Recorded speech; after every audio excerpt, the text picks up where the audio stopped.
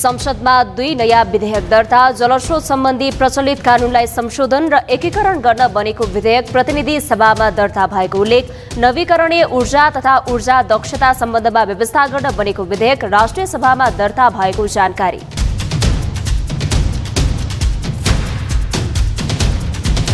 सहकारी संस्था बचत रकम संसदीय छानबिन विशेष समितिद्वारा आन्तरिक कार्यविधि पारित। छानबिन समितिले सुझाव सहित आन्तरिक कार्यविधि सर्वसम्मतले पारित गरेको जानकारी।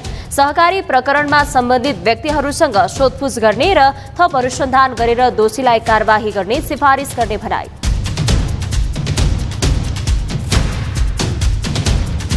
बजेटलाई लिएर प्रमुख सत्तारूढ नेकपा एमाले असन्तुष्ट। एमाले अध्यक्ष केपी शर्मा ओली नै बजेटलाई लिएर सार्वजनिक रूपमा रोष प्रकट गर्दै बजेट निर्माण प्रक्रिया पुरानै ढाँचाबाट भएको एमाले सांसद योगेश भट्टराईको टिप्पणी बजेट निर्माण प्रक्रियामा ठूलो नीतिगत र संरचनागत परिवर्तन आवश्यक रहेको सुझाव व्यक्त।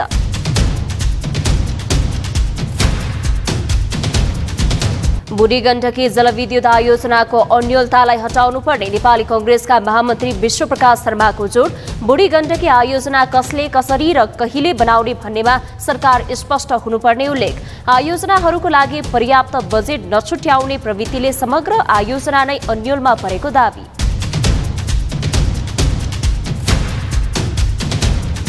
बजेटमाथि राष्ट्रिय प्रजातन्त्र पार्टीका अध्यक्ष राजेन्द्र लिङ्गदेनको असन्तुष्टि। ऊर्जा क्षेत्रमा विदेशीलाई सहज हुने नीति बनाउँदै गएको आरोप। नेपाली लगानीकर्तालाई प्रेरित गर्ने बजेट नआएको टिप्पणी।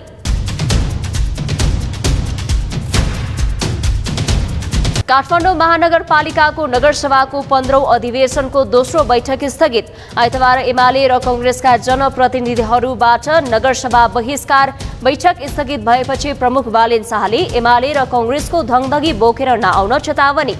तीनजना नेताले गर्दा एक सय साठी जना जनप्रतिनिधिको बोल्ने अधिकार हनन भएको समेत उल्लेख।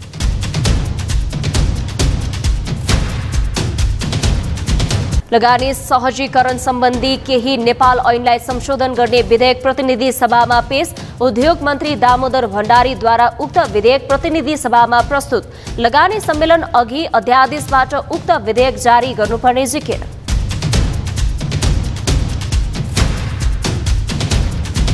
काठमाडौँ महानगरको डोजर आतंक बंद गर भन्दै कबाड व्यवसायीहरूद्वारा में विरोध प्रदर्शन।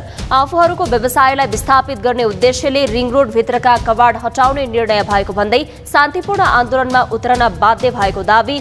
गरीबलाई पेलने नीति स्वीकार्य नहुने प्रदर्शनकारीहरूको चेतावनी।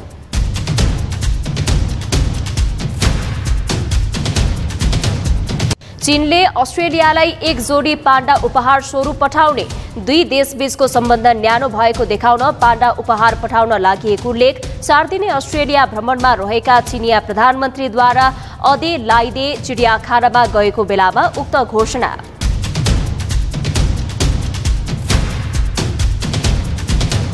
चोटका कारण विश्वकपबाट बाहिरिए मुजिब घाइते मुजिबको स्थानमा ब्याट्सम्यान हजरतुल्लाह जजाई समावेश अफगानिस्तानले यसअघि नै सुपर आठमा आफ्नो स्थान पक्का गर्यो।